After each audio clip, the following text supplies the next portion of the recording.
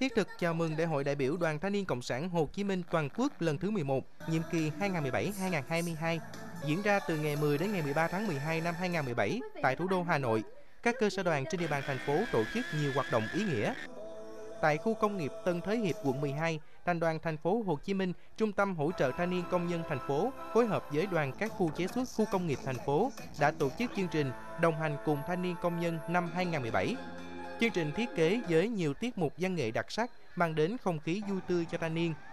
Dịp này, Thành đoàn thành phố Hồ Chí Minh đã trao 30 suất học bổng, mỗi suất 1 triệu đồng cho con em các thanh niên công nhân có hoàn cảnh khó khăn nhưng học giỏi, trao 20 phần quà, 20 suất học nghề cho các thanh niên công nhân có hoàn cảnh còn khó khăn.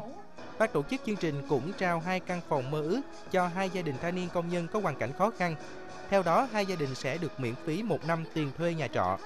Tổng kinh phí trao tặng cho thanh niên công nhân trong chương trình gần 200 triệu đồng.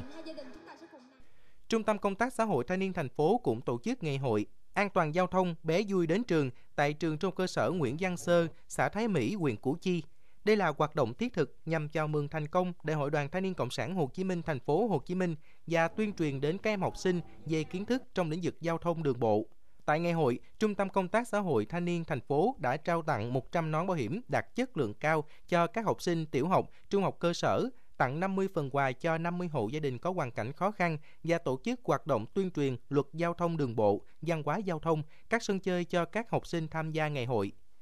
Hơn 500 hội viên thanh niên tình nguyện viên đến từ các câu lạc bộ, đội nhóm, các cơ sở xã hội đã tham gia nhiều hoạt động sôi nổi tại Ngày hội kết nối những người tình nguyện lần thứ 5 năm 2017 với chủ đề Kết nối tình nguyện, kết nối yêu thương. Ngày hội do Hội Liên hiệp Thanh niên Việt Nam thành phố Hồ Chí Minh tổ chức là cầu nối để các bạn trẻ yêu mến công việc tình nguyện, tạo sự gắn kết và sân chơi giao lưu lành mạnh giữa các câu lạc bộ, đội, nhóm tình nguyện Tại ngày hội, Hội Liên hiệp Thanh niên Việt Nam thành phố Hồ Chí Minh đã trao giấy chứng nhận thành viên văn phòng kết nối tình nguyện năm 2018 cho các câu lạc bộ, đội, nhóm tình nguyện không trực thuộc, khen thưởng các câu lạc bộ, đội, nhóm có thành tích xuất sắc trong hoạt động công tác xã hội và tình nguyện vì cộng đồng năm 2017 và tặng 20 phần quà cho 20 tình nguyện viên khó khăn